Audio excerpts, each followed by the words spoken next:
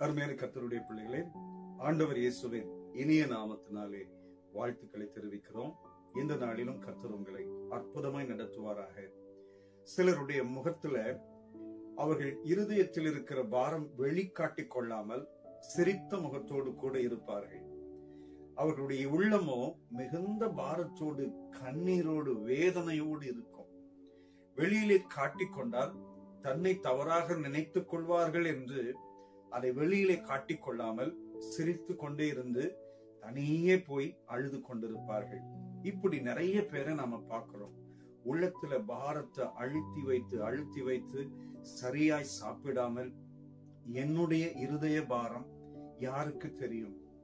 யாரிடத்திலாவது போய் சொன்னால் அவர்கள் வேறொருவரிடத்தில் சொல்லி என்னுடைய பெயரை கெடுத்து விடுவார்கள் என்று சொல்லி பயந்து கொண்டு யாரிடத்திலும் சொல்லாமல் கலங்கி இருப்பார்கள் இந்த காலை நேரத்திலே ஆண்டவர் ஒரு வசனத்தை ஞாபகப்படுத்துகிறார். உங்கள் சூழ்நிலையை உங்கள் இருதயத்தை அவர் பார்த்து கொண்டே இருக்கிறார். நீதிமொழிகள் பதினைந்தாம் அதிகாரம் பதினோராவது வசனத்திலே நாம் வாசிக்கிறோம். பாதாளமும் அழிவும் கர்த்தரின் பார்வைக்கு பிரத்யட்சமா இருக்க மனுப்புத்திரருடைய இருதயம் அதிக பிரத்யட்சமா இருக்கும் அல்லவோ? பாதாளம் அழிவையுமே அவருடைய பார்வை பார்க்குமானால் என் அன்பான சகோதரா சகோதரி உங்கள் இருதயத்தை கர்த்தர் பார்த்து கொண்டே இருக்கிறார். உங்கள் சூழ்நிலையை அவர் அறிவார். உங்களுடைய இருதயத்தின் வேதனை அவருக்கு தெரியும். மனுஷன் முகத்தை தான் பார்க்க முடியும். முகத்தை பார்த்துதான் நீங்கள் சிரிக்கிறீர்கள் அழுகிறீர்கள் துக்கமா இருக்கிறீர்கள் என்று சொல்லி அடையாளம் சொல்ல முடியும். ஆனால் இருதயத்தை பார்க்கிற தேவன் நிச்சயமாய் அந்த இருதயத்தில் இருக்கிற பாரத்தை அறிந்து அற்புதம் செய்வார். ஒன்று சமுவேல் ஒன்றாம் அதிகாரத்திலே அன்னாள் தன்னுடைய இருதயத்தில் இருக்கிற பாரத்தை காட்டிக் கொள்ளாமல் தேவ சமூகத்தில் போய் கண்ணீரோடு ஜெபிக்கிறாள். ஏலியை பார்த்து சொல்கிறார் நீ எவ்வளவு நேரம் குடித்திருப்பாய்? எந்த மட்டும் வெறித்திருப்பாய்? அப்பொழுது அண்ணால் சொல்கிறார்கள் நான் மனக்லேசம் உள்ள ஸ்திரீ என்னுடைய இருதயத்தை கர்த்தருடைய சன்னிதானத்திலே ஊற்றிவிட்டேன். சிலர் அழும்போது சிலர் வேதனையை வெளிப்படுத்தும் போது உலகம் வேறு விதமாய் சொல்ல ஆரம்பிக்கும். ஆனால் தேவனுடைய பார்வையிலே அவர்கள் இருதயத்தில் இருக்கிற பாரத்தை வேதனையை அறிந்து ஆண்டவர் அற்புதம் செய்வார்.